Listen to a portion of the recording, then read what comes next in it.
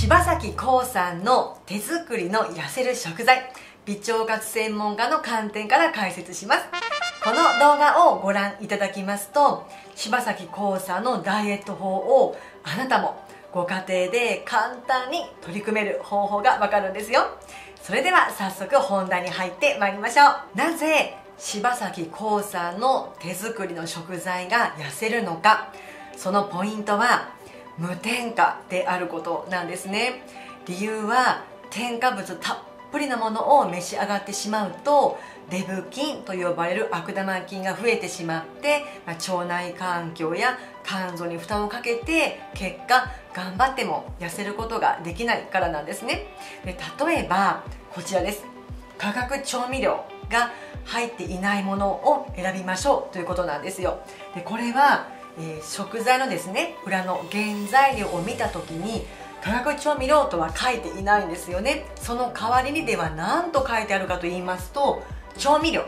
かっこアミノ酸などと別の言い方で書いてあります。でこれは実はグルタミン酸ナトリウムですからもうとにかくあなたのお体にとってですねもう非常に良くないんですもう痩せないどころかそのまあ、ご病気に、まなってしまうリスクが非常に高いものなんですね。でも本当に今もういろんな食材これがたくさん入ってますからあなたもまずは食材を選ぶ時にですねこの調味料かっこアミノ酸などと書いていないものを選んでいただきたいなと思います。なので柴咲コウさんの痩せる食材のポイントはもうとにかくこういったものが入っていない無添加であることなんですよ。では柴咲コウさんが一体何を手作りにされていらっしゃるのかということなんですけれどもあのもう彼女はですねもうたくさん手作りされていらっしゃるんですよね。もうほんと素晴らしいなと思います。でそのたくさんある中の今回は一つご紹介します。それは手作りのキムチ。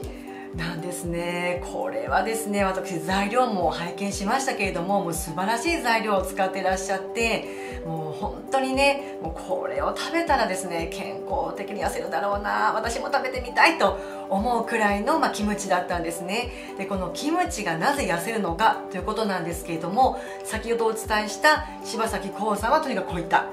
化学調味料が入っていないからというのがまあ大前提なんですがプラスキムチというのはですね発酵食品なんですよね。でこの発酵食品を取ることがあなたの腸内にいる痩せ菌と呼ばれるその善玉菌がですねもうたっぷり含まれている食材なんですよ。なので無添加であることそしてこの発酵食品であるキムチを食べることであなたは自然と腸内環境が整って痩せ菌が増えてくれて結果痩せ体質になることができるんですよ。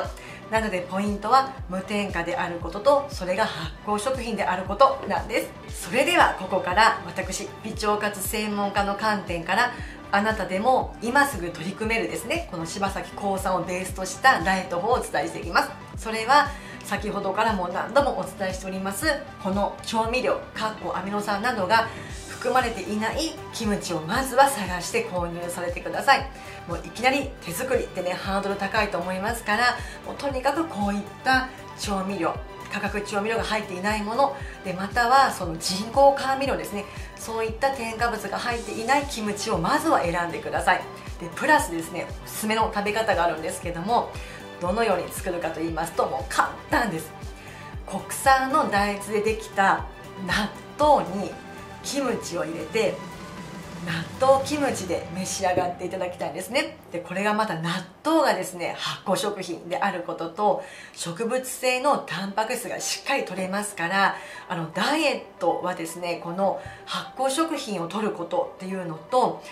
良質なタンパク質を取ることこの2つがもう絶対にセットではないと成功しないんです。なのであなたはこの納豆キムチを毎日召し上がっていただくことで健康的で綺麗に痩せることができるんですよ。それではこの動画のまとめです。ポイントは発酵食品無添加のものを取ること。それはじゃあ何を取ればよいかというとその条件を満たした納豆キムチを毎日召し上がっていただくことでしたね。そのことであなたは健康的で綺麗に痩せることができるんですよ。ぜひ今すぐ実践されてみてください。楽しく取り組んでくださいね。さあいかがだったでしょうか？この動画ではこのようなさまざまな